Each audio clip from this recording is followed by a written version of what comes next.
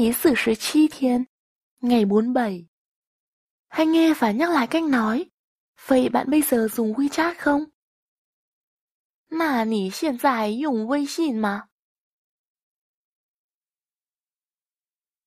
那你现在用微信 吗？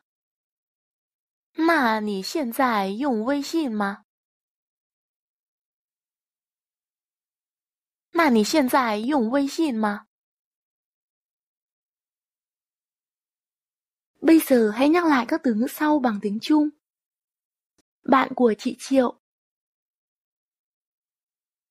赵姐姐的朋友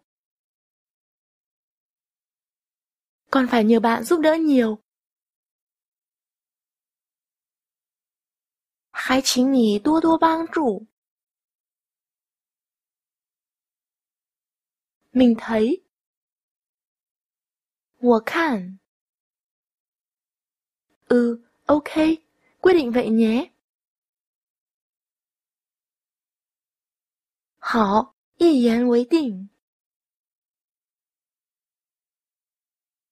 Người bản địa Quế Lâm, người gốc Quế Lâm. Quầy lín vấn tỷ rấn. Không sai, có điều. Mấy thủa, bú của. Đợi một chút. Tầng ý xả. Nên mình còn chưa cài đặt. 所以我还没有安装。 Nếu bạn thời gian dài ở lại Việt Nam,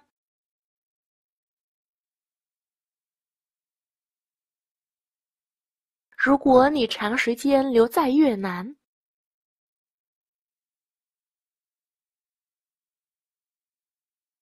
感 thấy nên dùng，觉得应该用。Sau khi về， 回去以后，từ 去 ở đây chỉ hướng đi xa phía người nói sẽ tải xuống xem xem. Hội 下载看看